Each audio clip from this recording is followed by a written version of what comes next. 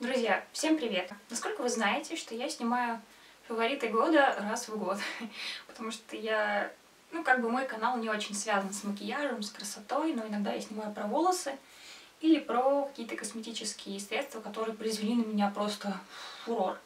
То есть я никогда не снимаю непосредственно бьюти-тематику, хотя я с нее начинала. Давайте тянуть не будем. Это видео будет поделено на две части, то есть я расскажу вам про косметические, более какие-то бытовые вещи, которые можно потрогать. И вторая часть видео будет о чем-то более неосязаемом. Так что, если вам это интересно, то оставайтесь со мной. Итак, у меня стоят тут три огромные коробки с косметикой, и я, честно, не готовилась к этому видео, поэтому все будет так вот, вот прям вот, что мне реально нравится, я буду доставать. И у меня есть такая большая коробка с помадами, и у меня сейчас стоит задача, я решила выбрать одну нюдово-розовую помаду, любимую, красную помаду и темную или фиолетовую помаду, которая была моей самой-самой любимой.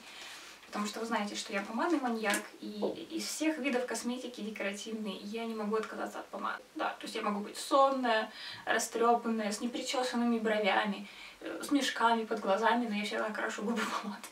Давайте начнем с нюдовой или розовой. Э, к сожалению, мою самую любимую нюдово-персиковую помаду я куда-то потеряла при переезде. То есть я переезжала с этой помадой. Я помню, что она была у меня в кармане куртки. И специально туда положила, чтобы если что-то потеряется, я ее не потеряю. Но я ее потеряла. Я по сей день не могу ее найти, но это прекрасная помада. Это помада, которая была у меня в видео макияж для рыжеволосых и зеленых глаз, как так она называлась. В общем, друзья, посмотрите это видео, просто посмотрите эту помаду. Она прекрасна. Это уже второй мой тюбик, который я просто увидела в магазине. Он назывался как-то по-другому, но это была эта помада. И она прекрасна. Вы знаете, такой медово-карамельно-персиковый цвет с блестками. Там были маленькие блесточки, но они были прекрасные. Для рыжеволоса и для зеленых теплых глаз. Это прекрасная была помада. И пахла она что-то вроде лимонного пирога. Я бы не сказала, что это нюдовая, скорее такой, я не знаю, темный нюд. Это помада из матовой линейки Катрис, их новая матовая линейка, которая называется... Как-то прикольно она называлась. Topless in Love. Я сейчас покажу сводч. Друзья, честно, я надеюсь, вам будет видно.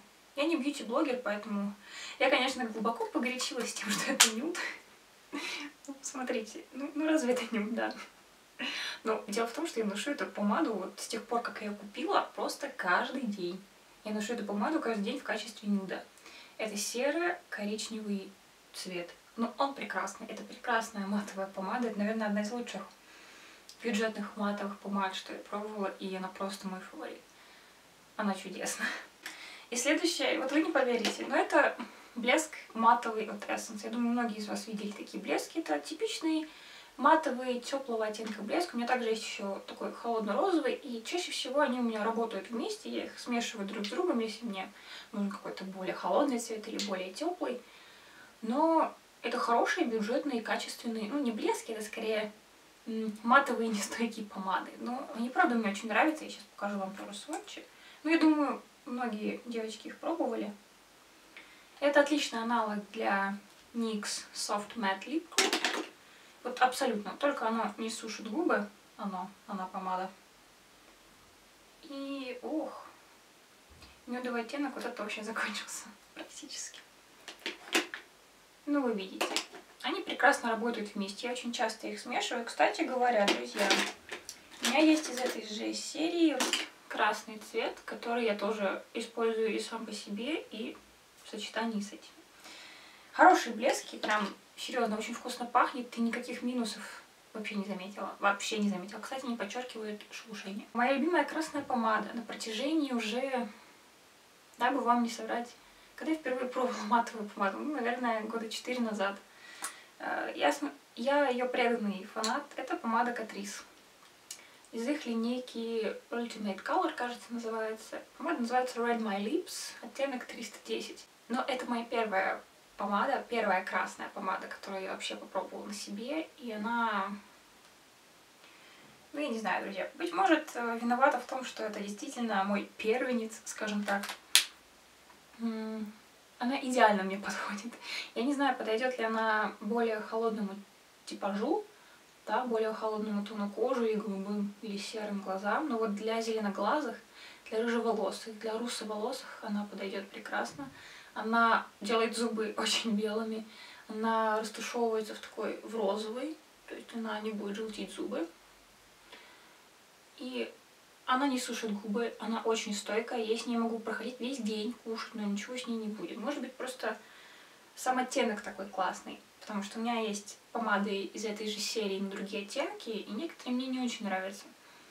Ну, не знаю, друзья, это, наверное, не самая лучшая красная помада в мире, я знаю, но у меня с ней очень хорошие воспоминания, она очень красиво смотрится, и почти каждый раз, когда я ее носила, у меня какие-то очень приятные события происходили в жизни. То есть это по сей день остается моей такой любимицей, которую я использую какие-то мероприятия, скажем так. А еще хочу поделиться с вами одним разочарованием, потому что наверняка вы знаете такую марку, как Sleek.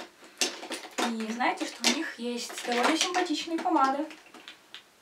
И я очень долго облизывалась в магазине на вот такую помаду, которая называется Lip Vip Semi Matte Lipstick.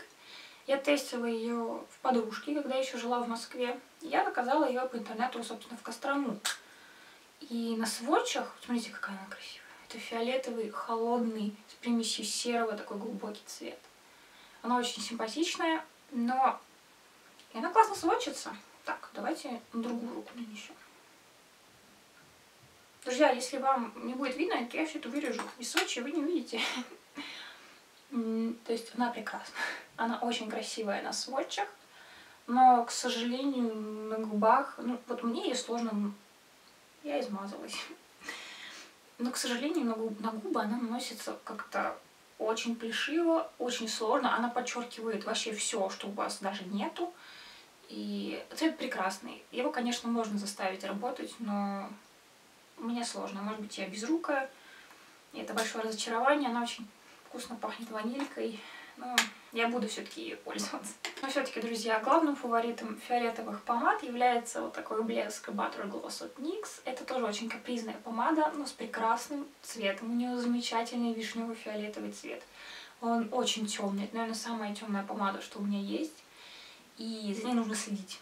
За ней нужно постоянно следить, нужен карандаш, но я готова простить за этот прекрасный цвет. И я очень часто ношу ее в купе вот с такой помадой, я думаю, вы знаете. Это винный вкус, оттенок 390 от Maybelline Hydro Extreme. Она уже тоже почти кончается. Это так, тоже такой классический, хороший цвет, который подойдет вообще всем. И я обычно ношу ее на губы и сверху ношу вот этот блеск. Это получается очень готично. У меня было какое-то видео, кажется, где я говорила вам свои самые любимые цитаты и высказывания. Я, помню, была там с этой помадой. Как вы знаете, моя кожа ужасно проблемная, ужасно с забивающимися порами, я страдаю с ней всю свою жизнь. Поэтому у меня с тональными средствами отношения немножко натянутое, то есть я ими практически не пользуюсь. Я их, конечно же, использую, но крайне не часто, в основном где-то один два раза в неделю или даже в две недели, и то это, ну, скорее всего, будут выходные. То есть в обычной жизни это, скорее всего, либо консилер, либо минеральная пудра, либо вообще ничего. Но в этом году были средства, которые я, кстати говоря, кажется, что вам показывала, которые мне очень сильно понравились, которые не вызывают у меня ни прыщей, ни забитых пор. И первое, это, вы наверняка знаете, это Lumine это даже не тональный крем, написано, что это Serum Foundation Touch of Radiance, оттенок Honey Beige. Этот оттенок универсальный. Почему-то, когда я была загорелая, он мне подходил. Сейчас я бледная, но сейчас на мне, и он мне почему-то тоже подходит. Это очень странно, но это правда. Это прекрасное средство, оно делает все, что я люблю, то есть практически ничего. Оно очень легкое, очень жидкое, оно очень легко наносится, и оно просто чуть-чуть выравнивает тон кожи и увлажняет саму кожу. Это все, что мне нужно. И главное, что оно не вызывает прыщей. Но опять-таки носить его каждый прям день я не рискнула. Хотя здесь довольно-таки неплохой состав, так как это все-таки люмине. Я, безусловно, могу советовать эту вещь, стоит в районе 500 рублей. И следующий вы тоже наверняка видели, это NYX Studio Photogenic Foundation Font Detailed. Да, это мой французский. Оттенок Natural Beige. Друзья, если вы из России, если у вас чисто славянская внешность, никогда не берите тональный крем от NYX в оттенке Natural Beige, потому что он темный и он рыжий. К сожалению, я носила этот оттенок только летом, когда я была ну, очень черная, ну очень загорелая, и то он был несколько темнее моего настоящего тона кожи. Но сам по себе крем, он прекрасный. Он не подчеркивает шелушение, он выравнивает тон кожи, он скрывает все, что нужно. Но при этом назвать его плотным, как-то язык не поворачивается. Он скорее такой средней плотности, но при этом на лице его вообще не видно. Это действительно HD, как здесь и указано. Поэтому с наступлением весны или лета, скорее всего, я прикуплю себе еще один такой крем, но нормального человеческого оттенка. Друзья, никогда не берите по скидке тональный крем, который темнее вашего тона кожи. Вот у меня сейчас стоит, и мне он нравится, я не могу им пользоваться. Иногда я использую в качестве какого-то контуринга, ну, понимаете, я и контуринг это... Когда у тебя руки и жопы, ты не можешь никакой себе контуринг нормально сделать. Но мне очень нравится этот крем, поэтому не повторяйте моих ошибок продукты, которые были истинной находкой в этом году. Это тени. Это тени фирмы Sleek. Ну, думаю, многие из вас знают. У меня оттенок Snapshots и Au Naturel. Есть натуральные оттенки и супер-мега яркие оттенки. Не буду вам их показывать, друзья. В общем, я не знаю, что сказать об этих тенях плохого. Наверное, ничего. Ну, за исключением того, что вот в этой палетке черный цвет не очень пигментированный. Он такой больше серый даже, чем черный. Но эти тени замечательные, у них прекрасная форма и прекрасная текстура, которая вообще не требует от вас умения краситься. То есть вы взяли кисточку, даже самую обычную, нанесли, чуть-чуть растушевали и все готово. То есть эти тени вообще не требуют какого-либо умения. Они прекрасные, они очень долго держатся, и у них очень много красивых оттенков. И, скажем так, пока эти две палетки у меня не закончатся, я ничего покупать больше не буду, потому что меня прям вообще все устраивает. Они, они замечательные, я их просто обожаю, друзья. Я серьезно перестала пользоваться всеми остальными тенями, что у меня были. Я вообще сильно, сильно прохудила свою косметичку, то есть она у меня сильно похудела. И эти тени заняли в ней почетное место. И последний продукт бронзер. Да, я знаю, что вы скажете, Света, ты же не пользуешься такими вещами. Нет, все-таки пользуюсь. Когда я видела этот бронзер, он стоил, блин, тучу денег, просто тучу денег. Но я на него целенаправленно накопила. И он прекрасный. Это Physicians Formula Butter Bronzer. А, ну, конечно, запах, да. Однозначно его запах, он чудесен. Он прекрасен. Это бронзер, который подойдет всем. Вообще всем. Вот реально, если вы хотите сделать подарок кому-то, но сомневаетесь в оттенке, он подойдет всем. Это, по-моему, второй оттенок, он более темный, но он не темный.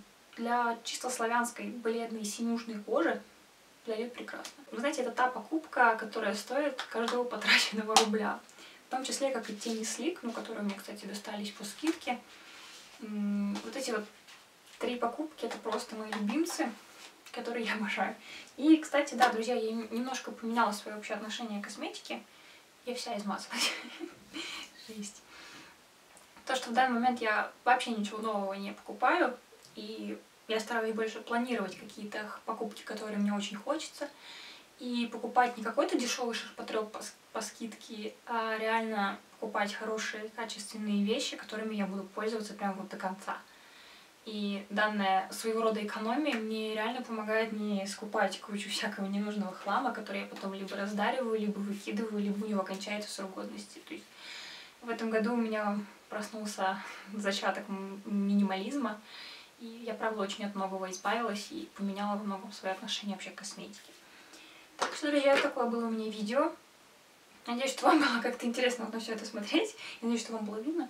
Поэтому, да, я не бьюти-блогер, я не умею показывать косметику, я особо не умею краситься и делаю все как могу. Но, тем не менее, мне все это дело очень нравится, я люблю помады. Так что, друзья, до встречи в следующих видео. Счастливого вам Нового года, уже наступившего. И пока-пока.